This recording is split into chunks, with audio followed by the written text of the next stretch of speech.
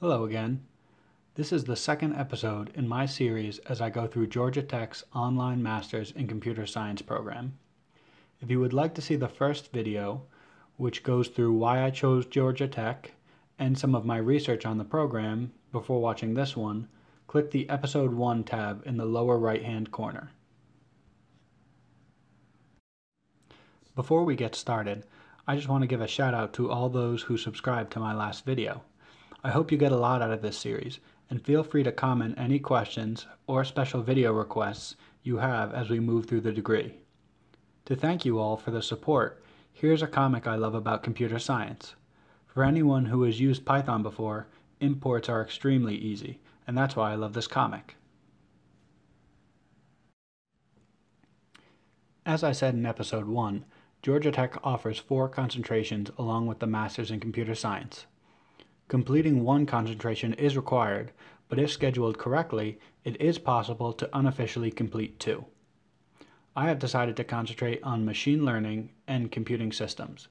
The main reason I chose computing systems over interactive intelligence is because I thought it would give me a more rounded understanding of the subject.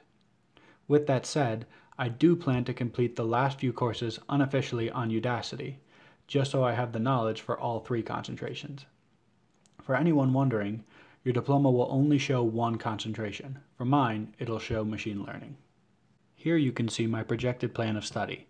Each concentration has its own degree requirements, but for machine learning, I had to pick one course from two sections, those are the ones in purple, and three courses from another section, those are the ones in orange.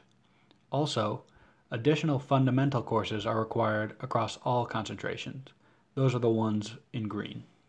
If you would like to see which courses are required for your concentration, the link will be in the video description, along with the link for fundamental courses. From looking at the computer science program, I have found that both Python and Java seem to be essential. I learned Python through Codecademy and a Coursera course called Python for Everyone, which is made up of a five-part series.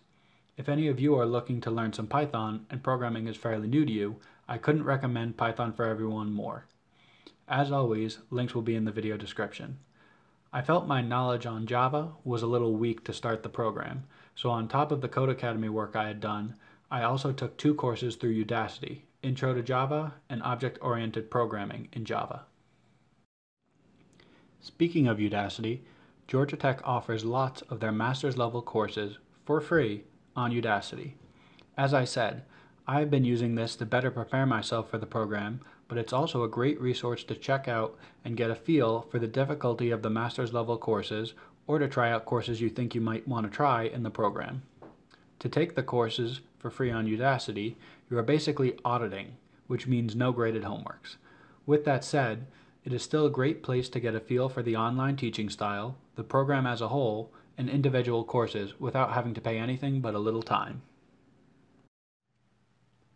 In addition to the Java courses, I've been taking the Udacity equivalent of CS 6300 and CSE 6242.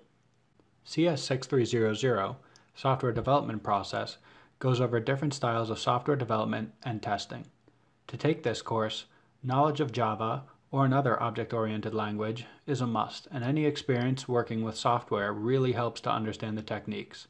However, all homeworks for this course are done in Java. CSE 6242, Data and Visual Analytics, is about the R programming language, and later in the course dives into more advanced data analytic techniques. For this course, knowledge of any programming language and knowledge of probability and statistics should be enough to get you started. My current plan is to sign up for CS 6300, Software Development Process, when classes become open in January. I chose this one to start with because it is a course that applies to all of the concentrations, so if I decide later to change my concentration, it'll be an easy move. Thank you all for watching. I hope you were able to learn something from this video, and if you have any questions, post a comment. I start the program in January, so wish me luck. All the links from anything in this video should be in the video description, so that should be a good place to start. Thanks, and subscribe.